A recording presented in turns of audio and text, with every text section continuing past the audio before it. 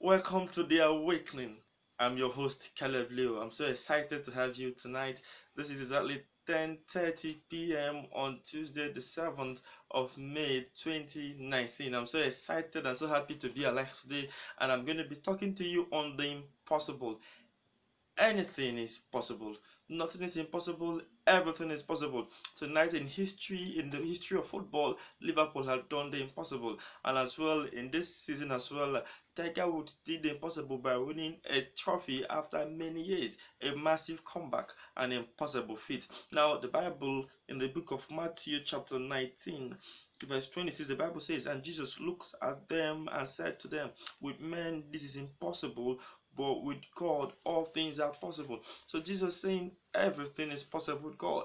That is the first step. With men, these things may look impossible, but with God, anything at all you dare believe, anything at all you dare attempt to achieve is possible. So you must live with the possibility mentality.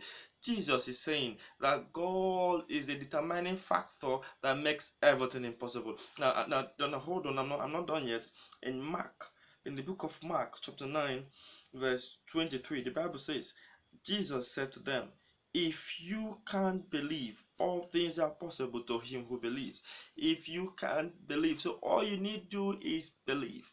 Your belief is your key to achieving the impossibility. Your belief is what you need. Your belief is a currency. It is your faith, your trust in something. If you can believe and make attempts at it, all things are possible to him who believes. So everything are there limitations in life? Are there things that look impossible that cannot be done?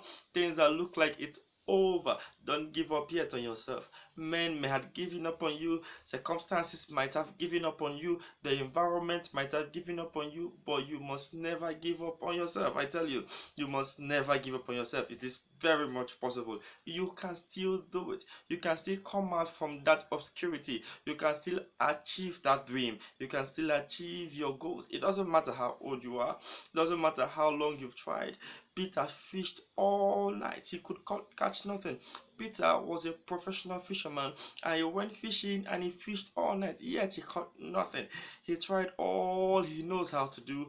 And you know, in, in, according to fishermen, fishes are usually more frequently found in the night.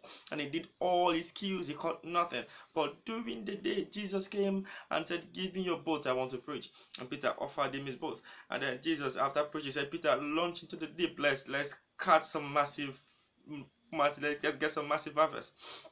Peter told him, Lord, I've, I've toiled all night and I got nothing but yet at your word. Now Peter held on to that word which he said, Step out.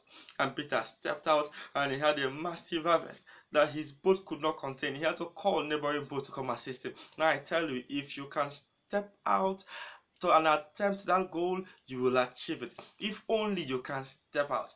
No, when the children of men decided to build the Tower of Babel in the Bible, God said, Everything they've imagined in their heart, they will achieve. Nothing can stop them. The only way they can be stopped is by changing their language. So they will not have an agreement. But if they can agree, anything, if, if their imagination, every single one of them, they would have achieved it. And you know, if God had not intervened, these men were ready to build the tallest building on earth. Men could have engineered many years ago. If men can believe something and they could go at it and they can attempt to achieve it and they will achieve it and anything you believe you will achieve. All you need to do is take a step. Now if you've lost your dream over time if it looks like it's it's all over it's injury time i tell you this you can try again. Don't give up yet. Don't give up yet. You only fail the day you give up. When you give up on life then you have failed. So you must never be a failure. It doesn't matter how much you've tried. Keep trying. Bible says a righteous man will fall seven times and then he will rise again seven times. It doesn't matter if you've fallen seven times. It doesn't matter if you've fallen eight times. It doesn't matter if you failed over and over again. Just make sure you keep trying. And tonight i tell you it is possible there is no impossibility with God. If only you can believe it is possible. All things are possible to those that believe. I'm so excited you are here with me tonight. God bless you richly. Now I'm looking forward to reaching out to you again in our next episode in the awakening. Thank you so much.